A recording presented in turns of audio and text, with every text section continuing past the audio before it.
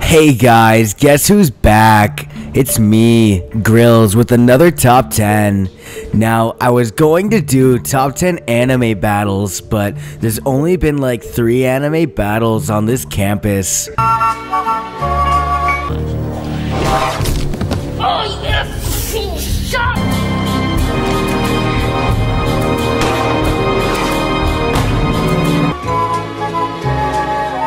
Anything she wants out of you. When I お前はもう死んでいる。何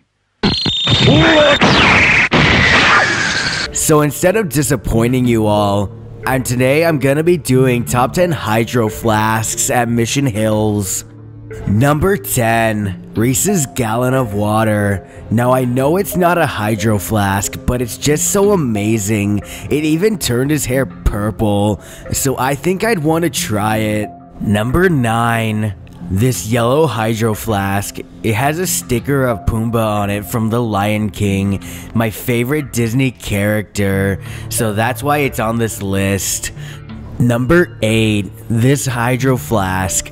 I know it seems like it's a milk carton, but trust me, it's not.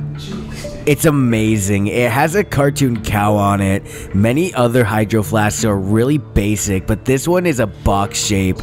Number 7, this Arrowhead water bottle. I know, again, it's not a hydro flask, and many people don't like this brand of water, but it's just amazing. It's 100% spring water. It's amazing, guys. Not sponsored. Number 6, this clip art of a hydro flask. It's amazing. Look at it. It's got Shutterstock. Number 5, this Buzz Lightyear Hydro Flask. Buzz Lightyear is my favorite Disney character. favorite Disney character. Favorite Disney character. So that's why he's on this list. Number 4, the Dance Production Hydro Flask. They're not going to ever leak and they're guaranteed to hit bottle flips, so that's why they're amazing as well.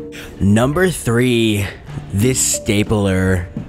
Wait, what countdown are we doing again? Number 2, the water bottle Hamza kicked in episode 2. Rest in peace, my friend. You were well served and deserve better. Before we get to number one, my name is Grills and I hope you're enjoying the video. If you want to see what I look like in real life, please follow me on Instagram at GrillsMHHS. I have like 53 followers already. Please keep it going. Put another face review, man. Number one, Reese's Hydro Flask.